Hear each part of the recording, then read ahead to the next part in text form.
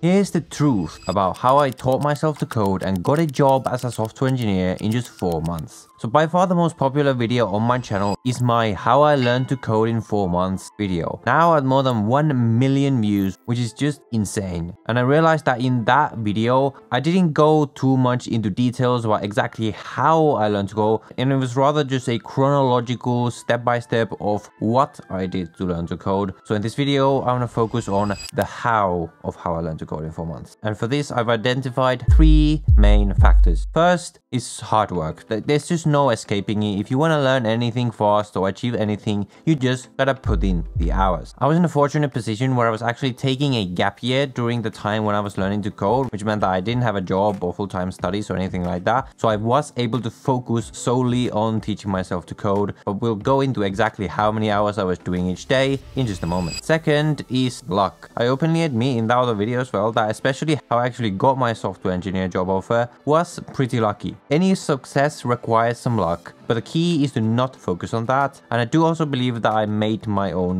luck. So we'll also talk about that. And thirdly, I believe I did the right things. As in I focused on the most essential things first. And this is really key. If you want to learn anything fast, you gotta know what's important. And that's a lot what I share on this channel. My strategies, my techniques, my resources. And in this third section, we'll talk more specifically on how I was able to work smart and organize my studies intelligently when I was learning to code. So we'll dive deeper into all of those in just a second. First, before you're even able to get started learning to code, you obviously need a good laptop that doesn't lag like some of my previous potato computers. This is my M1 Max MacBook Pro, which cost $4,000. And in order to afford a laptop like this, you first need to become financially responsible and learn to invest your money wisely. Now you might think that the only option is stocks and bonds, but what if I told you that there's a new asset class which has beat the S&P 500 by 164% from 1995 to 2021? and that is art. And you might say, well, that's great, but I don't have the money to invest in art. That's only for millionaires, right?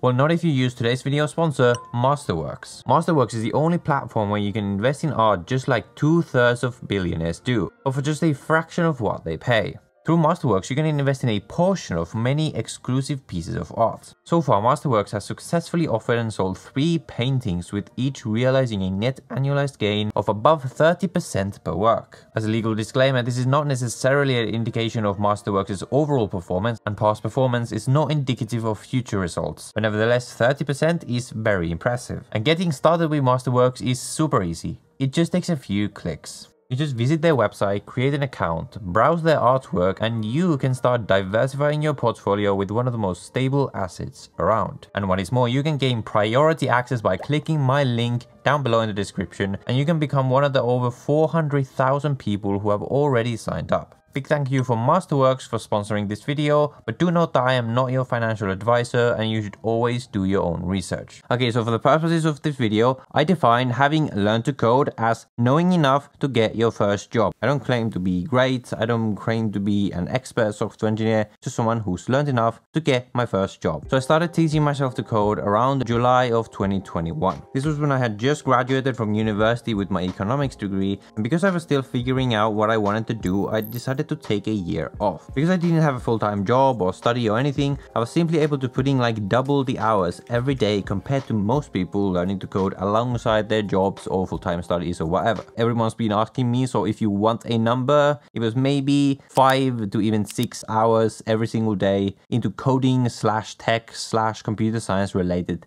things. So really coding is just like any other skill. You just need to put in enough practice and eventually you will learn. There's this great rule that people often reference, which is like the 10,000 hour rule, which essentially suggests that you need 10,000 hours of deliberate practice in a skill or a craft or whatever to really master it. I don't think I've put in 10,000 hours yet because as I said, I'm not an expert yet. I'm just a guy still figuring it out essentially. But the point here is that it's just about putting in enough hours of actual proper practice and you will just learn eventually. There's just no magical thing about it. And in terms of how I was able to keep myself disciplined and motivated during that time, really it just boils down to the fact that I really, really wanted the end result. And I was really, really interested in actually learning the code. And I'm really glad I I sort of stumbled on upon this area because I did not have the same passion for my previous studies in economics, for example. So whenever I wasn't feeling too motivated, I would just remind myself of my why, of the actual reason why I was doing this in the first place. And that would usually get me on track. And when none of that works, you just do it. You really just have to do it. The second factor is luck. I can't lie, I can't deny it. I'm also extremely lucky in a bunch of different ways. The way my job offer happened is that during the summer of 2021,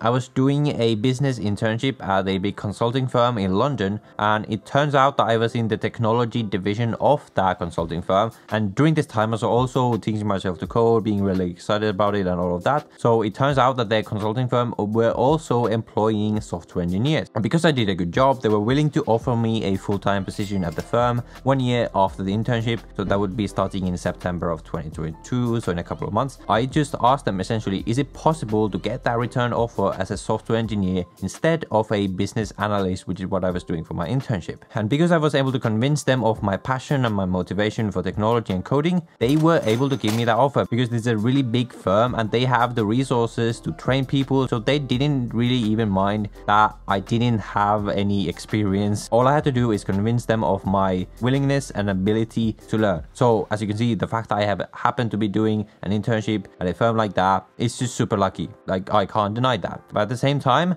I did also make my own luck. The thing about luck is that it often happens to the people who do a lot of things, who go out there to seek opportunities. Had I not been a good employee and a good intern at that company, they wouldn't have even given me a return offer at all. Had I not put in the effort to learn about tech, I would not have been able to communicate a passion and a willingness to learn about it to my managers. Often people who look at other people who are successful tend to attribute it to luck, like, oh, Oh, they just got lucky, oh, he just had this and this opportunity, which would never have happened to me. Whereas people who actually succeed often attribute it to skill. And I think the truth is always in between. There's always some luck and there's always some skill with any level of success. The key is to not focus on the luck and just put in the work, try to learn as much as possible, go seek out opportunities, and the luck will eventually come to you. That's how the world seems to work. But beyond that, obviously, I'm lucky in a bunch of other ways as well. I'm lucky to be born in a first world country where I have access to education that is able to build me the logical thinking skills that's required to even learn to code in the first place. I'm lucky to have the opportunity where I can have enough money to buy a computer for me to code with and have access to internet in the country where I live in. But we're all lucky in some ways. And it's just about making the most of the situation that we happen to be in. The last thing that contributed to me being able to learn so fast is that I didn't just put in a lot of hours, I put in the right kinds of hours and I had a plan from the start. Through really taking my time to first learn about what I need to learn and really what is most important to prioritize, I was able to focus on what really matters. Whenever I learn something, the way I think about it is as if I'm sort of peeling off layers of a potato. This is a really weird analogy, but let me explain. When you're first getting into learning something, it's super, super important that you learn to identify the factors that are most important at the stage you're. For example, when you're just learning the basics, there's no point in you going to some obscure computer science concept because that's not important in the beginning stages. In the beginning stages, you just want to focus on the outermost layer, the broad context around the tech world, around